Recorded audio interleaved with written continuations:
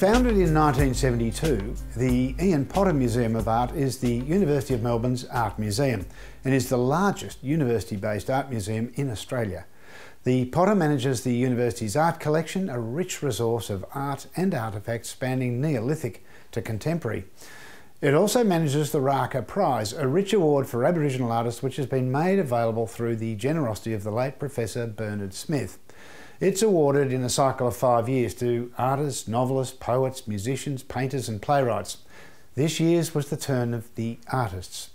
We spoke with the Potter's curator Joanna Bosse about the 2013 award and of course about the winner Mabel Juli, an 80-year-old traditional Gitja elder from the Kimberleys. Mabel is recognised as one of the great first generation ochre artists. With the the winner, what's what's actually going on in that painting? Is is it just a reflection of where she lives and what she does, or is it is there some more political undertones to what she's trying to say?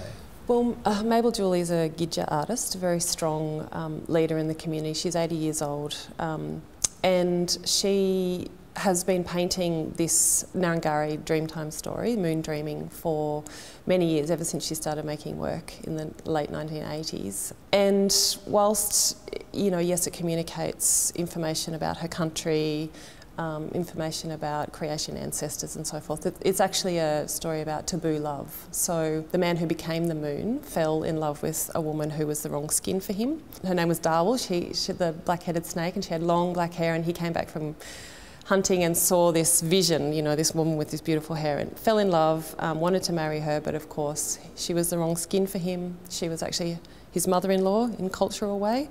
So he was banished from the community and had to choose another wife. And so he became the moon and his wife that he chose is the star. And so throughout different times of the year, throughout different times of the month, you know, those two elements change in, in relationship to one another. So from a perhaps a romantic point of view, you could think that um, you know Mabel depicts that story because there's something meaningful to her in, within that narrative, and and of course there may be on a personal level, but on a much deeper level, she paints that story because it is a really important place within her country.